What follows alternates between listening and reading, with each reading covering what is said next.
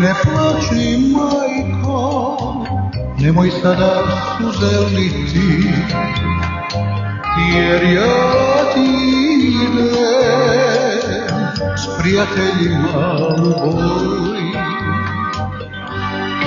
Jer to je ponos svakog pravoga Hrvata.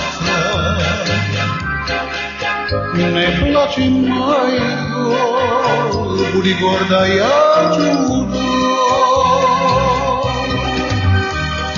Mostove nam mogu srušit, ali dušu neće, mi smo uvijek svoji na svome.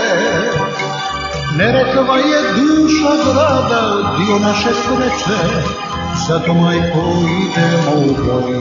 Ne plaći majko, nemoj sada suze liti, jer za slobodu i ja ti idem sad u boj, jer to je ponos svakog pravoga Hrvata. I zato, majko, budi gorda, ja ću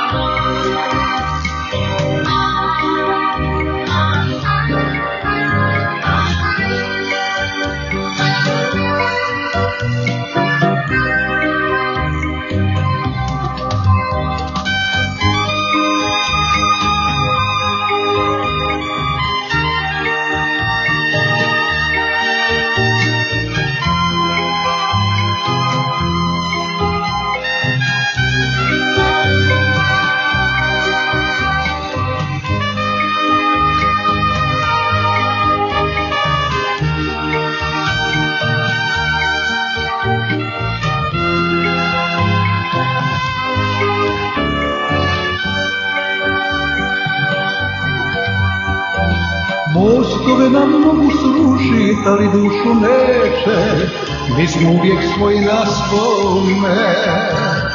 Nerekava je duša grada, dio naše sreće, zato majko idemo u boj. Ne plaći majko, nemoj sada suze liti, jer za slobodu ja ti idem sad u boj, jer to je ponos svakog pravoga Hrvata. I zato, majko, budi gorda, ja ću doći.